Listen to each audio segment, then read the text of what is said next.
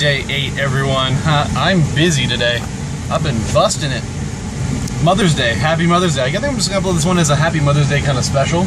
So happy Mother's Day, everyone. Hi, mom. I'm on. I'm on the internet. But uh, yeah, Mother's be coming into Dickies eating meat, and uh, it's been uh, busy. We ran out of stuff, so I'm actually going to the store to buy new stuff. So um, just pulling around the alley here, and uh, yeah, hopefully I'll have a more exciting video later up today. But I'm just gonna upload this anyway as part of day eight, or it will be day eight. But anyway, thanks for watching. Um, yeah, appreciate all the followers still. Have a good day.